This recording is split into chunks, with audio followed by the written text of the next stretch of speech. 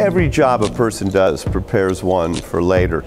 Sometimes I'm asked, when did you start astronaut training? And it was when I was a young boy in school. That's where you learn teamwork, how to work with others, as well as the basic knowledge that is the foundation for everything. I learned more about being an astronaut likely in grade school than ever later in my life. I was an astronaut at NASA for 23 years, flying four missions, 168 days in space.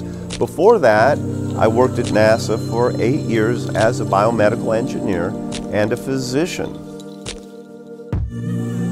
When I was young, the Mercury, Gemini, and Apollo program was occurring. We were ignited, watching for days before every launch on our black and white televisions while Walter Cronkite would interview the astronauts. In the background, a launch. This was the country uh, seizing the lead, seizing uh, innovation and moving rapidly. So that couldn't help but inspire.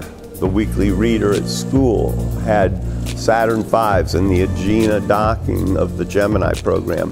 We studied it in school and it led to passion.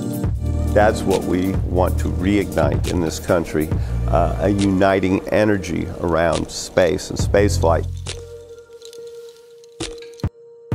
Frequently when I'm speaking to a group of people or interacting in schools, I look around at the, the kids and the young people and some of them ignite, their eyes open, something changes inside of them. And you know you've touched the core of their trajectory in life, and you can see it happen. These people will change the world. Thanks for coming to get me. Although I could have lived fine a lot longer psychologically, physically, but there's a lot of fun and good business to be done on Earth. It's time to go back, I think.